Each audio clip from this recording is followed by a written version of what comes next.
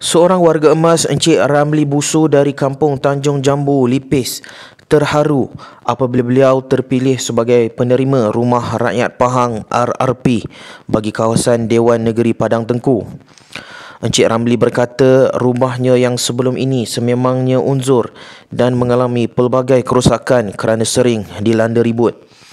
Justru keprihatinan oleh kerajaan negeri menerusi kepimpinan Yang Amat Berhormat Menteri Besar Pahang Datuk Seri Haji Wan Rosdi Wan Ismail dalam mewujudkan program RRP ini sangat memberikan kesan yang besar kepada para penerima terpilih yang kebanyakannya terdiri daripada penduduk tidak berkemampuan.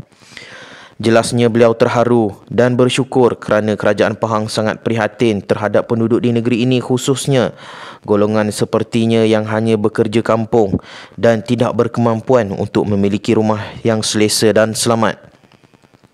Sementara itu, Ahli Dewan Negeri Padang Tengku yang berhormat Datuk Mustafa Haji Long berkata, RRP ini merupakan bukti kejayaan Kerajaan Pahang dalam usaha membantu rakyat memiliki kediaman sendiri yang selesa yang diberikan secara percuma. Projek RRP ini bernilai RM65,000 bagi sebuah rumah dan diberikan secara percuma kepada penerima terpilih di dalam setiap kawasan Dewan Negeri dan Parlimen di seluruh Pahang.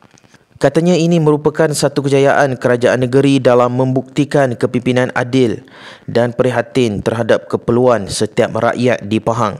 Dalam pada itu, beliau berharap projek RRP ini akan dapat membuktikan usaha kerajaan dalam menyantuni golongan yang tidak berkemampuan khususnya dalam mendapatkan tempat berteduh yang baik.